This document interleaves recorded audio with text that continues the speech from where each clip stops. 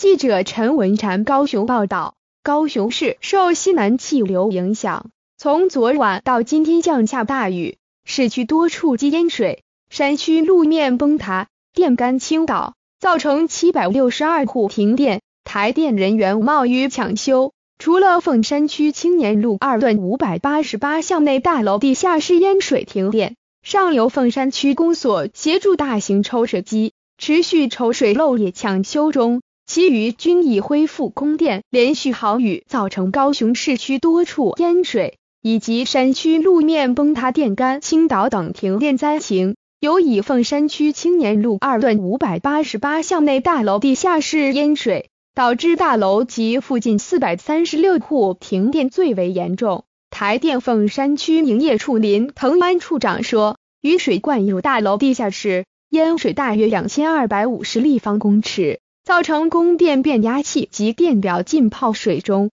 台电随即向凤山区公所申请调派大型抽水机支援抽水。林腾安及凤山区长刘胜元协同于现场坐镇指挥，区公所调拨两台抽水机，目前持续运作中。台电人员也在现场待命，待地下室积水抽前即可进入抢修。台电人员已于今晚地下室水位下降安全范围时，先行处理恢复大楼临近四百一十一户供电。目前仅剩该大楼二十五户停电，需待积水抽前后，才能更换泡水变压器恢复供电。台电人员漏夜抢修中。